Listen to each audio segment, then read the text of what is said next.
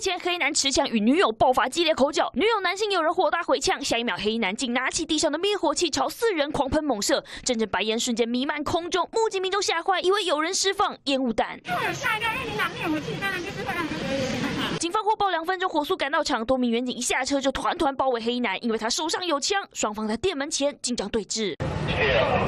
灰头土脸、浑身白粉，黑衣男狼狈背上铐，带上警车，原来是感情纠纷。嫌犯因为不满女友十九号坚持和疑似暧昧中的男性友人海抢一整晚，叫来朋友持 BB 枪在板桥一间 KTV 前要谈判。作案前甚至偷拿隔壁大楼的灭火器当武器，朝情敌喷洒，针罐喷光光。两支灭火器，有客喝醉阿黄让就拿起来乱喷在打架。叶显之处，携带 BB 弹、瓦斯枪，当场喷洒灭火器，因刑法恐吓罪移送侦办。情侣吵架闹到上法院，只怕这一段感情就像这罐灭火器，爱被肆意挥洒光，最后只剩空瓶。记者周天杰、李彩山仓报道。